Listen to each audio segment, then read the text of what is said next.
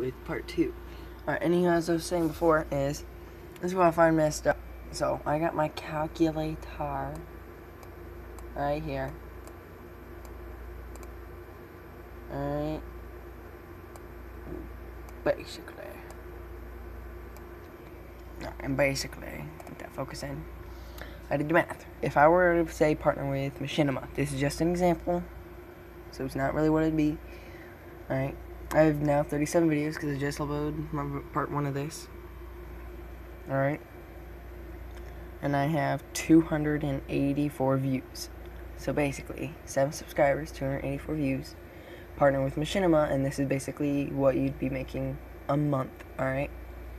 So, if I were to not post a video for a month, and I just go off this, you take 7 subscribers Wait, wait, wait. Wait, wait a second. No. You take 36 videos times 257 views times 7 subscribers equals 6,400 and 7 64,764 64764 alright. So I take 64764 and I divide it by 55% and basically I will be making around oh wait I divide it by Machinima. If I were partnering with Machinima their things so divide by, it was Machinima's contract for 24 months equals that.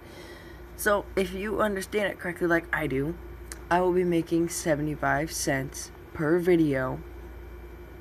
Basically 75 times 36, so 75 times 36 equals I'll be making $27 minimum a month. Well, yeah, a month. If you divide it by 31 days.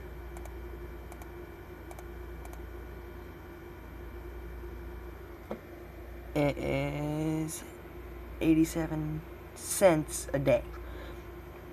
So that's just what I'm getting at, alright? Now, if the views keep going up, obviously the price goes up. Even if I don't post any videos. So, that's all from the world of Tog Reloaded. I would love you guys to give this video a thumbs up, like, comment, subscribe. Peace out. Yes, I said peace out and I didn't.